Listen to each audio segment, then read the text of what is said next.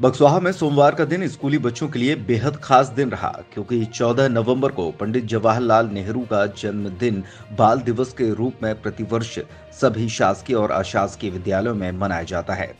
चूँकि विगत दो वर्ष कोरोना काल की वजह से स्कूल बंद रहे, जिसकी वजह से बच्चे इस दिन का आनंद नहीं ले पाए। लेकिन इस बार फिर से स्कूलों में छोटे बच्चों की आनंद से भरपूर किलकारियाँ देखने को मिली। इस अवसर पर अधिकांशतः शासकीय और अर्धशासकीय विद्यालयों में बाल मेले का आयोजन किया गया, जहाँ पर छोटे छोटे बच्चों द्वारा तरह तरह की दुकानें लगाई गई, जिसमें स्कूल स्टाफ और शिक्षकों ने तथा बच्चों के अभिभावकों ने बच्चों का मनोबल बढ़ाने के लिए खरीदारी की। इस क्रम में नगर के एस पी के जैन मेमोरियल स्कूल में बाल मेले का आयोजन किया गया, जिसमें बच्चों ने पारंपरिक रूप से व्यंजनों की दुकानें लगाई, साथ ही सांस्कृतिक कार्यक्रमों का आयोजन किया गया। मेले का उद्घाटन विद्यालय समिति के अध्यक्ष नाथुराम जैन और मीना जैन के द्वारा किया गया। इसके पश्चात कुमारी टीना जैन ने मंगलाचरण कर कार्यक्रम की शुरुआत की।